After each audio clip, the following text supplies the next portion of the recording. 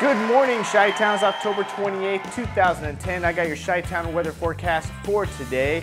It's going to be a very cool day today, the coldest in seven months, with a high of 45 degrees and a low of 29 degrees. It's Gonna be cold. Expect northwest winds at 15 to 25 miles per hour and some gusts.